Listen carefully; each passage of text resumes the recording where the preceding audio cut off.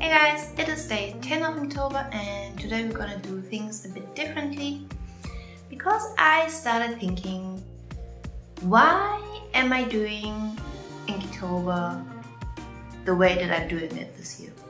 So my main goal when I started doing Inktober was just to make a video every day. So my overall goal for this year was to get better at making YouTube videos while still practicing my inking. So I just don't know where this idea came from to attempt and make a um, full illustration every day because my inking skills aren't there yet.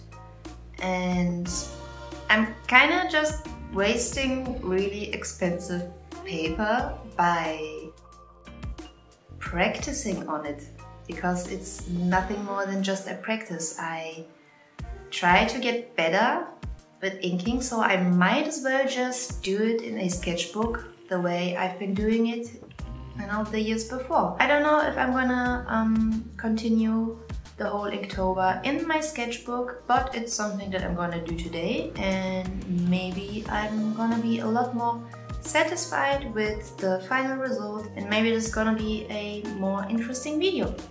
We'll see. So so this is the sketchbook that I'm gonna use and it is a Moleskine and I hope that's how you pronounce it. I have no idea.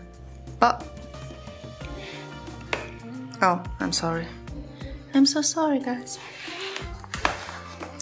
Okay, so I had to clean up my um, fountain pen. This one after I've been using the Indian ink with it and it got clogged up constantly. So now I'm using just this fountain pen ink and it is not waterproof. So I just played around on this page. This is kind of my um, what if page what if I do use water with it? What if I use less water with it? And I have also a different fountain pen. Um, I don't think that they're by the same brand. No, they are. They are actually by the same brand. Um, it's called Online. So they have two different nibs.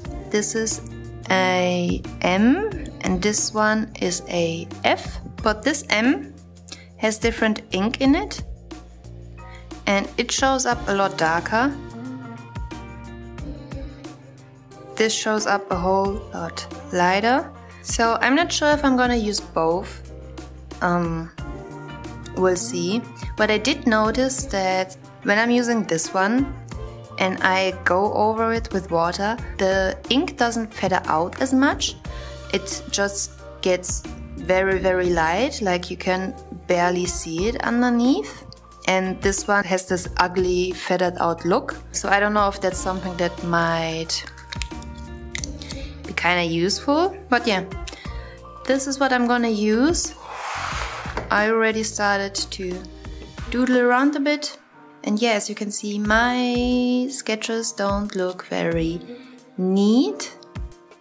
Not if I'm looking for an idea, if it's just a doodle and I just do whatever, then they come out a lot um, cleaner.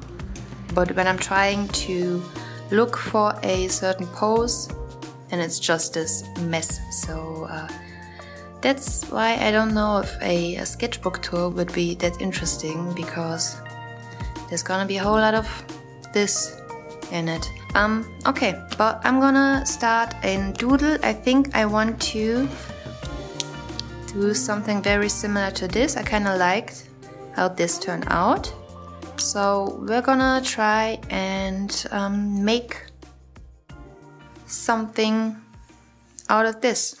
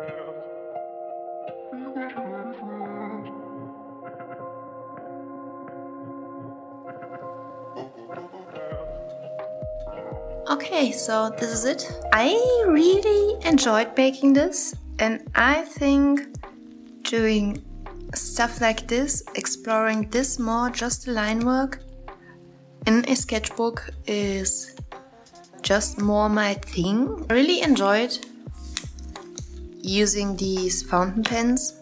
I'm happy with this. I don't have anything bad to say. I mean, sure, there are some things that I could improve. Like, I still don't really know how I'm um, supposed to make proper shadows with these. But that's uh, stuff that I'm gonna figure out. And uh, yeah, I I really like this. Okay, guys, um, I need to start editing now because my camera is dying on me and I need to pull all the footage. And I hope you enjoyed this sketchbook video thing. I think it's a bit more interesting to see a drawing from start to finish, even if the finish is just line work, I guess. Um, I'm not quite sure how... Yeah, I'm, I'm kind of curious to know what do you think about changing plans and doing more sketchbook stuff. Um, I mean, I'm still gonna do whatever I feel like doing, but I'm still curious to know what um, what do you prefer. So, um, yeah, do all of this nice YouTubey stuff. Leave a like if you like. Subscribe and see you tomorrow. Bye. My fringe is messed up. It just dried weird.